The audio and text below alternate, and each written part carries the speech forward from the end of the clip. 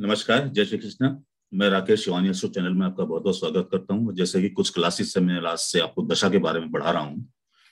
अभी last class जो हमारी थी, वो चंद्र की महादशा में, चंद्र की अंतरदशा और मंगल की अंतरदशा कैसी जाएगी, उस बारे में थी। इस बार हम पढ़ेंगे चंद्र की महादशा में राहु की अंतरदशा कैसी जाएगी। राहु की अंतरदशा कैसी जाएगी, ये बहुत इंपॉर्टेंट है और बहुत कुंडलियों में ये सवाल भी आते हैं कि चंद्र की महादशा में राहु की अंतरदशा जो होती है वो कैसी जाती है? तो उसके बारे में ज़्यादा समय वेस्ट न करते हुए मैं आपको बता देना चाहता हूँ कि चंद्र स्यात अंतर्गते तेरा हॉल लगना केंद्र त्रिकोण गे, आदो स्वल्प फलम, गेयम शत्रु पीड़ा महक भयम। मतलब कहते हैं कि चंद्र की महादशा में राहु की अंतरदशा हो और राहु लगन से केंद्र या त्रिकोण में स्थित हो।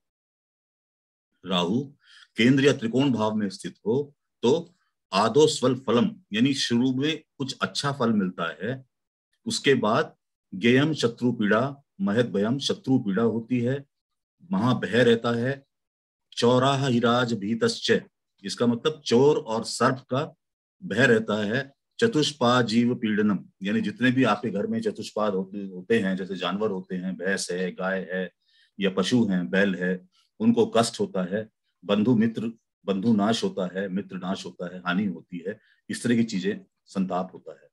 यानी केंद्र त्रिकोण में अगर राहु हो, राहु लग्न से केंद्र त्रिकोण में बैठे हो और चंद्र की महादशा हो और राहु की अंतरदशा हो तो अंतरदशा के आरंभ में तो थोड़ा अच्छा फल मिलेगा, लेकिन उसके पश्चात, आरंभ के पश्चात थोड़ा मतलब उसके एक आध साल के पश्चात जो है, वो शत्रु पीड़ा शुरू हो जाएगी मतलब आपके शत्रु हैं, वो उभर के आ जाएँगे, उनसे आपको पीड़ा होगी आपको एक प्रकार का डर भी अंदर में रहेगा।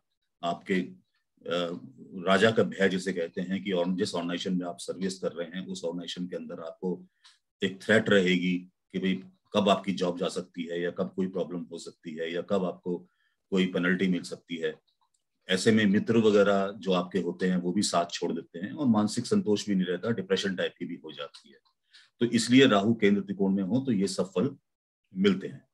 उसके बाद ऋषि पाराशर कहते हैं शुभ युक्ते शुभ दृष्टे लगनादुपचय पीवा, योग कारक संबंधे सर्व कार्य सत सिद्धि मतलब वो कहते हैं कि यदि राहु उपचय भाव में हो लग्नादुपचय पी, यानी उपचय भाव। उपचय भाव कौन से होते हैं हमारे? तीन, छह, दस, ग्यारह। यदि राहु तीन, छह, दस, ग्यारह भाव में है कुंडली के अंदर, और शुभ युक्ते शुभ ग्रह से युक्त है, और शुभ दृष्टे या शुभ ग्रह से दृष्ट है शुभ ग्रह से युक्त है। शुभ ग्रह मीन्स नैसर्गिक शुभ ग्रह से युक्त है या शुभ ग्रह से दृष्ट हो तो राहु की अंध दशा में योग कारक संबंधे सर्व कार्य सिद्धि है। जितने भी कार्य होते हैं, वो सब सिद्ध होते हैं। धन की, धन का वृद्धि होती है, सम्मान की वृद्धि होती है, जितने भी कार्य होते हैं, वो सारे सिद्ध होते हैं। यदि राहु उपचय भावों में स्थित है, राहु उपचय भावों में शुभ ग्रहों से दृष्ट है या शुभ ग्रहों के साथ स्थित है इसमें इन्होंने ये भी कहा है कि नैतक के पश्चिमी भागे कैचित प्रभु समागम है, यानी नैतत्य पश्चिमी भागे मतलब आपको पश्चिम दिशा में, पश्चिम दिशा में राजा से समागम, प्रभु समागम मतलब ये राजा समागम मीन्स के आपको पश्चिम दिशा में जो भी जॉब आप करेंगे, जो भी प्रोफेशन आप करेंगे, उसमें आपको अति सफलता मिलेगी। वाहन आदि की प्राप्ति होगी, वस्त्र आदि की प्राप्ति होगी। पश्चिम दिशा आपके लिए बहुत सुटेबल रहेगी। अगर राहु, आपका उपचय भाव में तो ये ध्यान रखना है कि राहु यदि उपचय भाव में स्थित है, शुभ ग्रह से युद्ध है या शुभ ग्रह से द्रस्ट है तो राहु की अंतदशा बहुत अच्छी जाती है, सारे कार्य सिद्ध होते हैं, धन की वृद्धि होती है, सफलता आपको कदम चुनती है।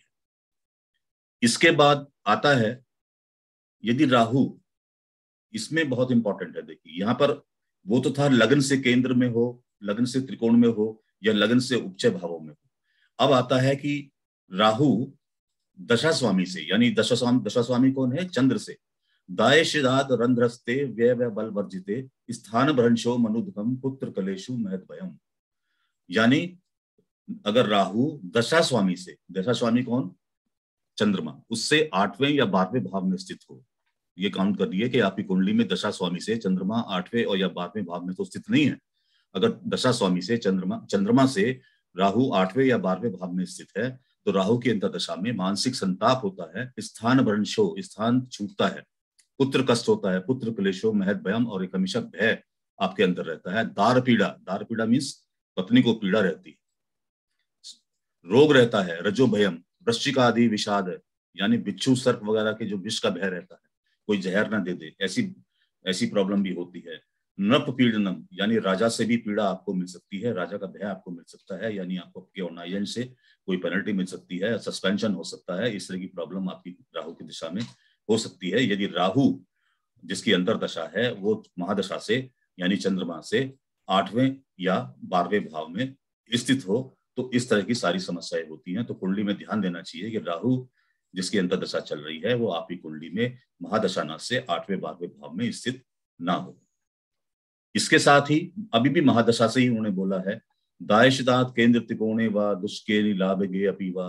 पुण्य तीर्थ फलाम प्राप्ति देवात नर्शनम महत। परोपकार धर्म आदि पुण्य कर्म भी संग्रह। ये क्या बोलते हैं? यहाँ ऋषि पाराशर बोलते हैं, राहु यदि दशा स्वामी से दशा स्वामी कौन है? चंद्रमा, जिसकी हम बात कर रहे हैं। अगर चंद्रमा से, जिसकी भी दशा चल रही है, महादशा चल रही है, राहु यदि उससे केंद्र त्रिकोण, तृतीय या एकादश भाव में स्थित हो, यहाँ पे लगन से नहीं लगन से केंद्र त्रिकोण तो पहले हो गया, जिसमें कहा था कि शुरू में अच्छे फल देते हैं, बाद में प्रॉब्लम क्रिएट करते हैं। यहाँ पे दशा स्वामी से केंद्र त्रिकोण, तृतीय या एकादश भाव में स्थित हो तो जातक पुण्य कार्य करता है, उसको देवों के दर्शन होते हैं, परोपकार करता है, उसको धन की प्राप्ति होती है, उससे कार्य सिद्ध होते हैं, उसको पुण्य कर्म प्राप्त होते हैं।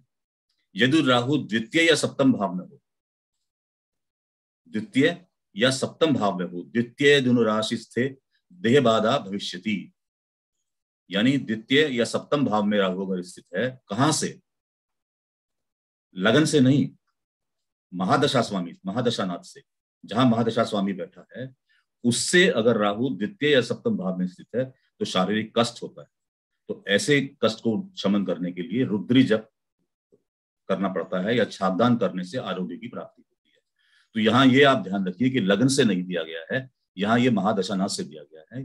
कि राहु यदि महादशानाथ से, जिसकी महादशा चल रही है, मानिए चंद्रमा की महादशा चल रही है तो महादशानाथ से यदि वो केंद्र त्रिकोण तृतीय एकादश भाव में होगा तो जातक को पुण्य कार्य मिलेंगे उससे कार्य सिद्ध होंगे, परोपकार होगा, धार्मिक कार्यों में उसकी रुचि बढ़ेगी, धनवान होगा और सारे कार्य उसके सिद्ध होंगे।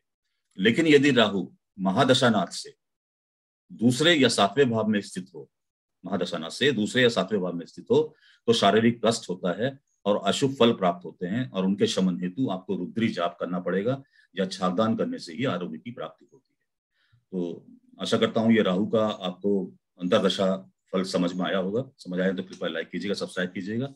दूसरा हम लोग अब फरवरी से बैच स्टार्ट करने जा रहे हैं। जो लोग भी पढ़ने के इच्छुक हैं एस्ट्रोलॉजी पढ़ने के इच्छुक हैं, वो फरवरी वाले बैच में अपना एनरोलमेंट करा सकते हैं, दिए गए नंबर पर धन्यवाद। जय श्री कृष्ण। नमस्कार।